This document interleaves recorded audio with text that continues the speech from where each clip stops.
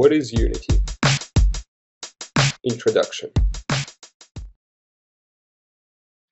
Hello fellow learners and welcome to the digital realm of game and app development. In this course you will learn the very fundamentals of what a game engine is, why you would use one, and how to use it. We will be learning this through the Unity engine, a very versatile package that is used by some of the most successful game publishers today.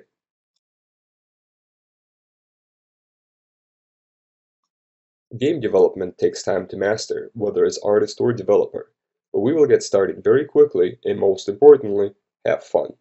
Always have fun. Why use a game engine? An engine is not necessary to make a game or app.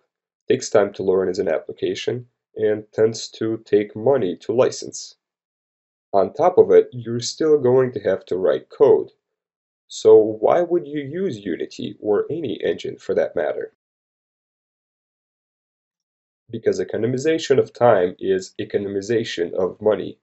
Unity unifies things, including other engines, such as a renderer and a physics and collision detection engine. It will also include integrated features such as sound, scripting, animation, AI, memory and threading management, and a nice UI. Some still develop their own engine. Why would anyone do something that crazy?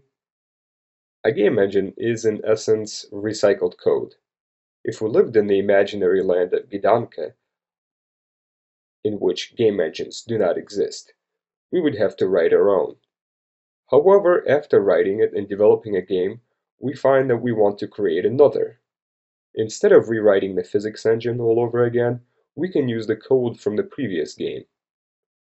Unity provides an engine for a variety of cases, but if you want complete control and customization, you have to make it yourself.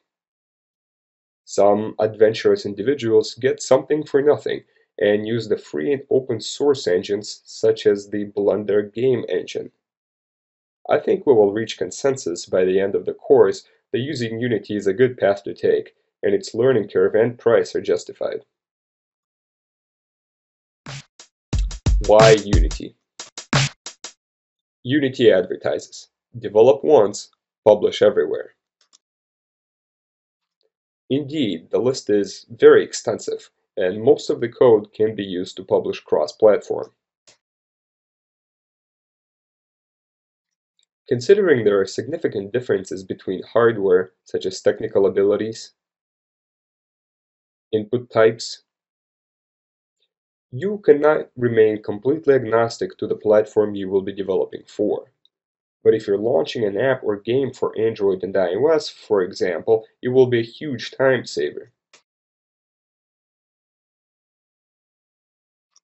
Unity is also linguistically flexible, allowing you to write code in C Sharp, JavaScript, Boo, uh, Python variant, and a few others not listed here. Its most important flexibility, in my opinion, is its decentralization from what a typical engine should behave like. Unity is capable of a lot more than developing first-person shooters. It is in fact more of an app engine than a game engine.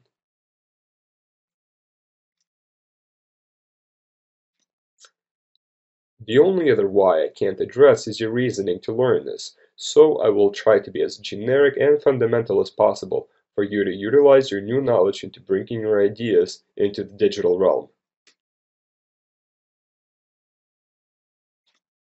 Onward. Chapter